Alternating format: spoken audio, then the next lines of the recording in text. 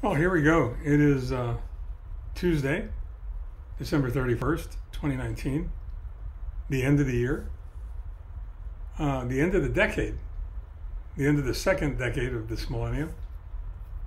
Trying to figure out where it all went and, and, who was supposed to be watching it and keeping track of it.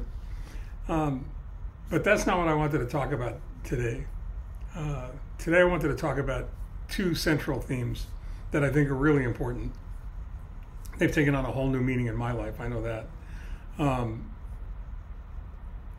and by sharing them, quite frankly, it's it's selfish in a way, in the respect that it helps me understand it better, and not selfish in the respect that by sharing it, um, you hope that somebody else will find some value, some intrinsic value in it. And those two themes are, are resilience and renewal.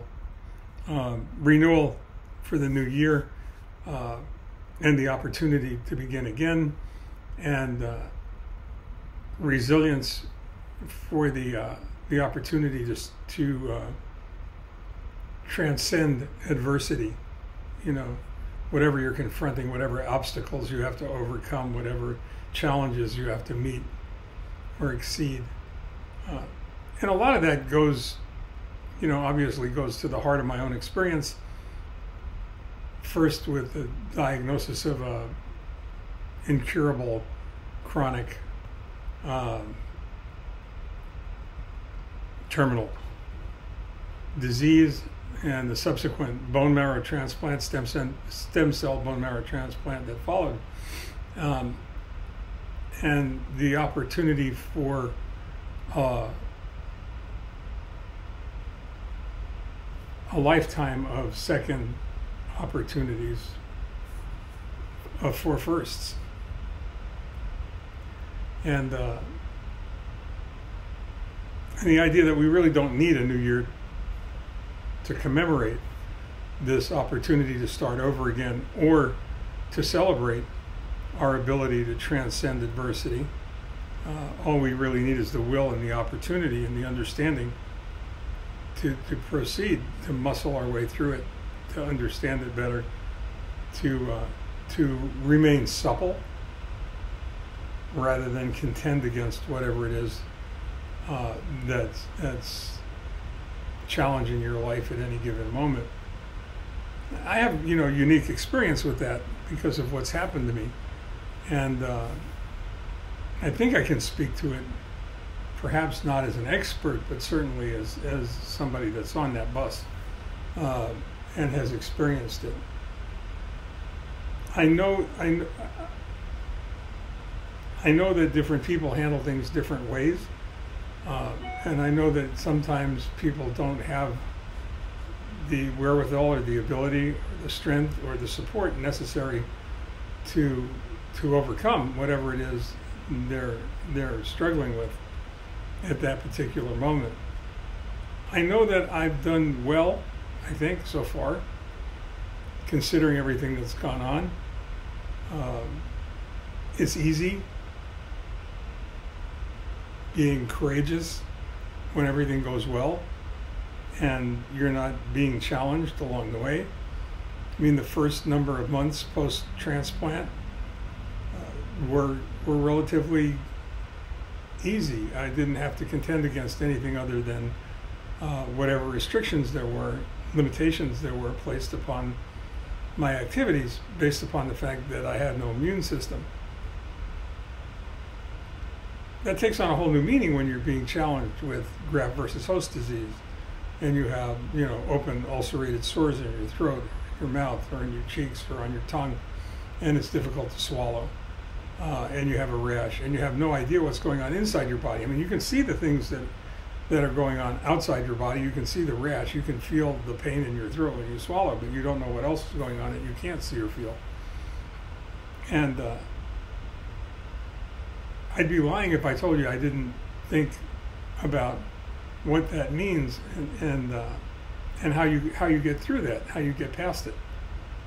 Uh, and I think that one of the ways that you do it is that you don't contend against it. You don't raise your fist and angrily, you know, look up at the sky and say, "Why me?" You know, um, what you do is you, you, you do the opposite, frankly. is you remain calm and you say, This is happening. What do I need to do to get through it? Center yourself, breathe, and just try and transcend whatever it is that's happening to you at that particular moment. Sounds easier than it is sometimes. You know, when you get hit with graft versus host disease, when you get hit with um, clots in your legs and bilateral pulmonary embolisms, and, and you're told you'll be on blood thinners for the next three to six months, then then the challenge is real. Then then you've got an obstacle to get through, over, around, past. That's when uh, that's when strength and and uh, strength of character, strength of will, come into play, and that's where the support system is really critically important. People around you that are that are cheering you on. Um, you know, it's interesting as I write the blogs. Ryan, our son, is writing um, his blogs in ironmadman.com. And, and I really recommend anybody with an opportunity, you don't have to be a triathlete to, uh, to read or appreciate or understand what Ryan writes about, especially this last few blogs at the end of the year, where he talks about his list for the last decade. Uh, because he talks about the same thing, and, and there, there, are similarities there. Uh, moving moving through my challenges are not all that dissimilar from um, running an Ironman or, or competing in an Ironman, where where you have to get past those obstacles along the way. It just compresses the time um, into 17 hours or less. So I highly recommend that you go there and take a look at what he has to say. He's really quite a good writer. Um, but I think that, that you, you don't need uh, an artificial celebration of a new year, a new week, a new month, a birthday, an anniversary to celebrate resilience and renewal.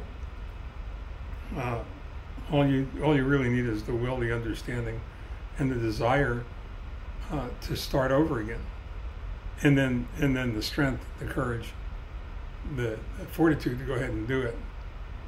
Uh, however, since we do have a new year to celebrate, I would like to say, um, please accept my best wishes, Leslie, and, and my best wishes for a healthy, primary first, healthy, uh, sweet, prosperous, happy new year uh, with many more to follow. Uh, so,